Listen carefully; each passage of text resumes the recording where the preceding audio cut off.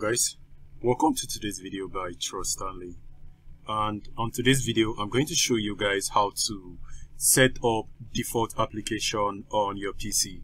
Now what this does is um, if you're trying to access a browser or trying to review um, a link on your browser, the default application is starting. Or if you want to play video on your laptop and you have multiple applications, this works on laptop and PC also, but it doesn't actually work the same way on Mac.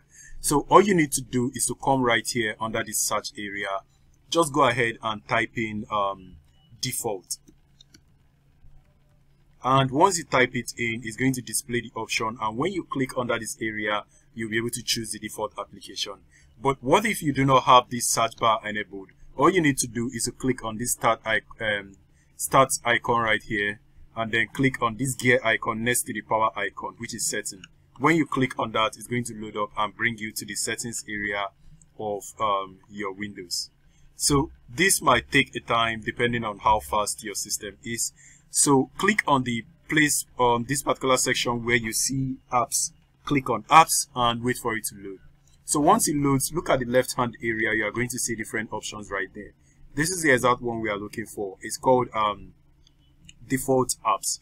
Click on the default apps and then from here you can choose your default application. You can notice on this top area it says default app, choose default application. So for the email section, um, if you have any email desktop application, click under this area and choose one. And also if you have different maps installed on your desktop, click on this map and you will choose the default one and actually this is um, I do not have any media player but because if I click on it you will not see any um, you won't see much option.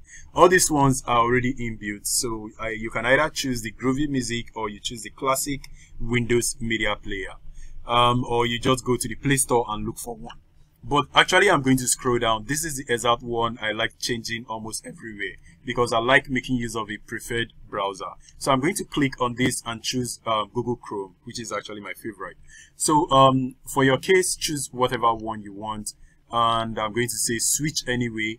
Um, it usually gives that icon because it will want you to be using um, their own Microsoft application making it look as if it's better now, um, if you want to watch video on your PC, you can click under this area and select the appropriate one. That is if you have downloaded those particular applications already. But if you haven't downloaded, go ahead and look for them. They are already saved on your device. So this is all I want to show you guys on today's video. And I hope it's helpful. If it is, please smash like and subscribe to the channel for more video. I will see you guys on my next video. Please stay safe and peace.